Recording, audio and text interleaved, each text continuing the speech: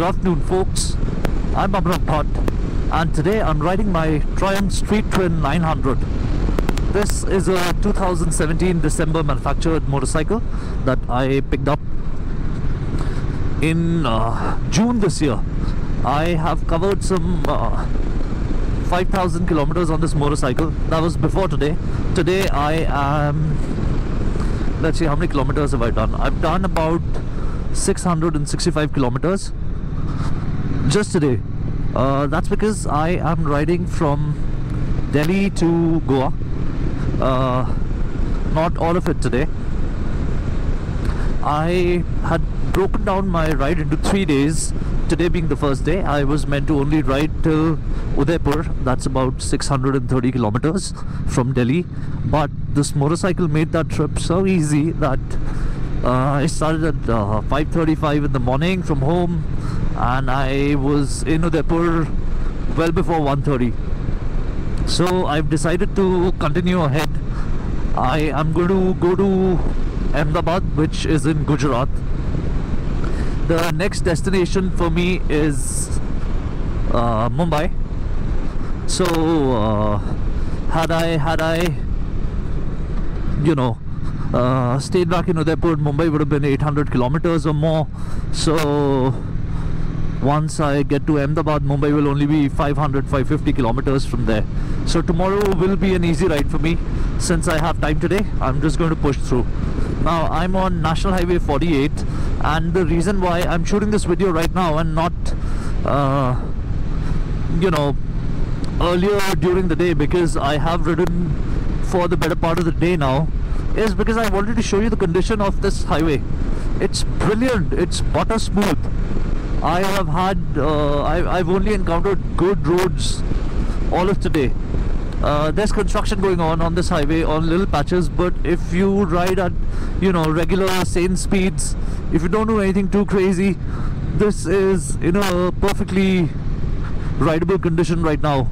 A lot of people had scared me. Uh, they tried to tell me that you know the highway is not the best right now.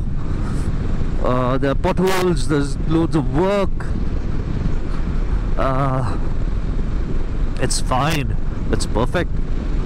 Now, um, the last time I took my motorcycle, the Triumph Street Twin, on a long ride was when I went to Himachal Pradesh. Uh, I had gone to Chitkul. Since then, I have made a few changes to the motorcycle. Now, while this motorcycle was perfectly adequate for that trip, I realized that uh, the suspension could do with just a bit of work. So, up front, I added uh, progressive springs. These have been made by uh, a group in Mumbai. They are called uh, Beard of Motorcycles. Um, and and these springs they cost next to nothing. They cost me only 5000 rupees. And they've changed the way the front end feels. It's very progressive. Earlier the fork would almost bottom out. But ever since i've uh, installed these springs and it's been what over two months now uh, the front seems a lot more composed and a lot more well behaved and um, um, almost telepathic okay I was in the wrong gear right so the other thing that I've done is I've uh, installed preload adjusters at the front. Now these preload adjusters I got them from AliExpress. They are sold for the Yamaha YZF R3 but since these both, both these motorcycles they come with um, 41mm uh, telescopic forks uh, these just fit in this bike so these uh, preload adjusters they cost me only about 1100 1200 rupees. The springs up front they were 5000 rupees. I think shipping was some 500 rupees at best to delhi. Um, and then there's another change to the suspension that i've made. At the rear uh, I, I felt that you know this motorcycle could do with some better springs. Now i did not have the budget for to get Öhlins or uh, suspension from you know Fox or Tech Bike Parts. I, I can't afford that. As simple as that. So what I ended up doing was I tried the suspension of the Royal Enfield Interceptor 650 on it. Uh, it's not a direct fit, let me tell you that. You have to uh, create bushes that, you know, sit in the eye of the spring and uh, you gotta shave off just a bit of the inside of the suspension, the top part, and then it's a perfect fit. Uh, initially, I had it at the softest setting and it was extremely bouncy at the rear. Now, before this ride, I stiffened the suspension up at the rear and it's very planted, it's very comfortable. Uh, I have done some 650 kilometers so far today and I I'm not tired. I'm just not tired. Uh, my behind doesn't hurt. There are no sore points in the body right now. I'm just extremely comfortable. In fact, um, you know, uh, Mumbai is what some 1500 kilometers from Delhi, I believe. I didn't bother to even check. It's it's easily doable on this bike in one go. You'll only have to stop for fuel. It's just that I don't prefer riding at night. I have a bit of uh, night blindness.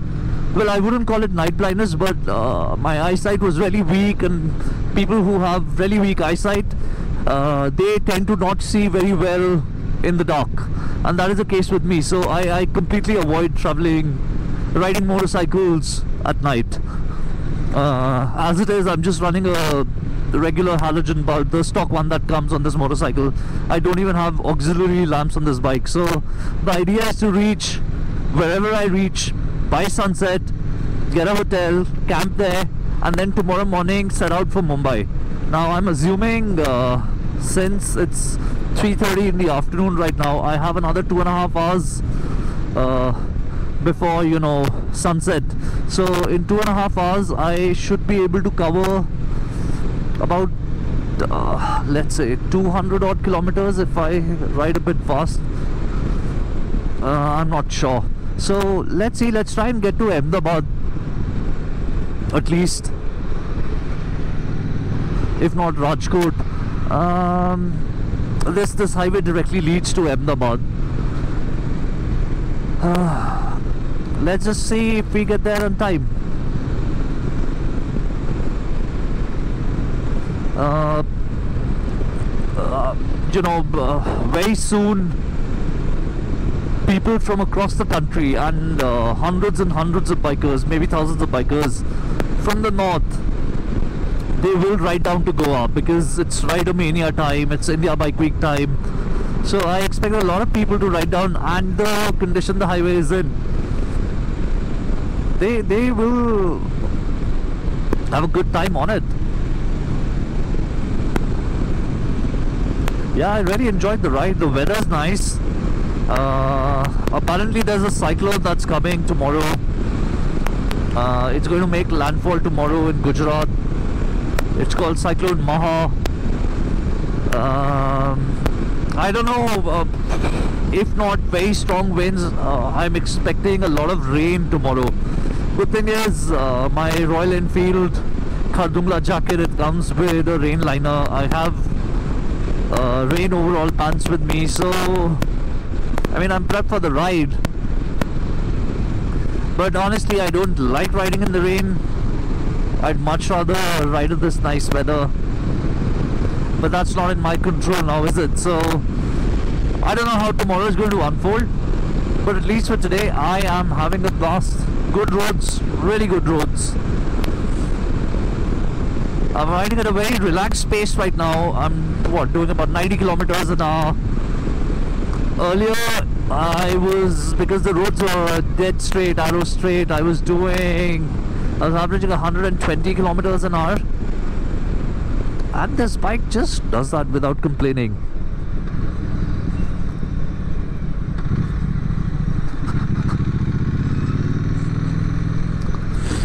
now uh, let me give you a bit of a fuel economy update on the bike.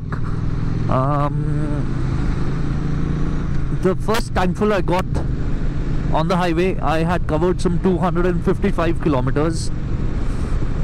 Uh, I think I got about 9.7 liters of fuel in the tank. I only go by tankful to tankful method, so you know it's easier to also figure out your range and determine your fuel economy. Um, I was I got 26 kilometers to a liter. I think my average speed during that time was about 100 110.